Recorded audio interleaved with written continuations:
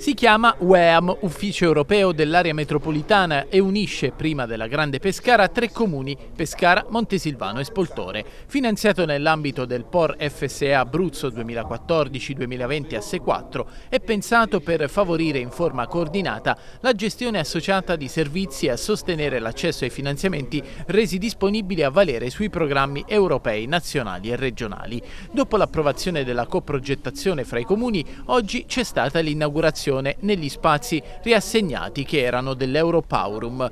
Inaugurazione che arriva all'indomani dell'assise civica congiunta nel Palazzo di Città di Pescara, primo atto della fusione da mettere in campo a seguito della legge regionale che istituisce proprio la Grande Pescara. Soddisfatto il sindaco Alessandrini che parla di una giornata storica. La seduta che si è svolta è quella istitutiva dell'assemblea costituente appunto della Nuova Pescara con i tre comuni, Pescara, Montesilvano e Spoltore, che coerentemente con le previsioni della legge regionale hanno insediato un organismo.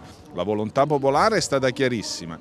Il legislatore regionale ha prodotto un testo normativo e quindi ci dobbiamo mettere in cammino. Siamo consapevoli che il Comune di Pescara, il Comune di Montesilvano rinnoveranno i propri organi nel maggio prossimo, ma a prescindere da chi rappresenterà il, i comuni c'è l'obbligo giuridico e direi anche morale di dare attuazione a questo percorso. L'Ufficio Europa ci aiuterà a trovare finanziamenti e a mettere in piedi buone pratiche di aree vaste. Meno entusiasti i sindaci di Spoltore e Montesilvano da tempo perplessi sull'attuazione della Grande Pescara. Assolutamente, io ho detto che la legge va rispettata eh, però è chiaro che noi dobbiamo essere attenti che questa legge, come tutte le leggi, produca effetti positivi per la nostra città e non effetti negativi. Quindi noi siamo alla, a far sì che la legge sia per Spoltore un'opportunità e non un disservizio e qualcosa di negativo.